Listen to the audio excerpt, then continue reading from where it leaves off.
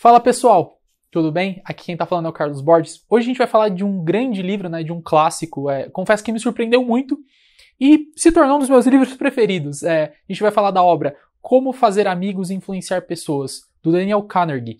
Esse livro foi escrito em 1936. Pô, cara, como que você vai falar de um livro de 1936 em 2021? É porque esse livro vendeu mais de 50 milhões de exemplares em 38 idiomas diferentes. Foi um grande best-seller. É, então acredito que seja muito importante é, a gente estar tá trazendo ele porque você vai aprender, né, a lidar com pessoas, você vai aprender a compreendê-las, você vai fazer muitos amigos, vai te tornar popular, é, você vai conseguir também influenciar as pessoas é, para fazer o que você quer. Só que de uma forma muito sutil e de uma forma natural e também sincera. E é isso que o Daniel Carnegie promete logo na introdução.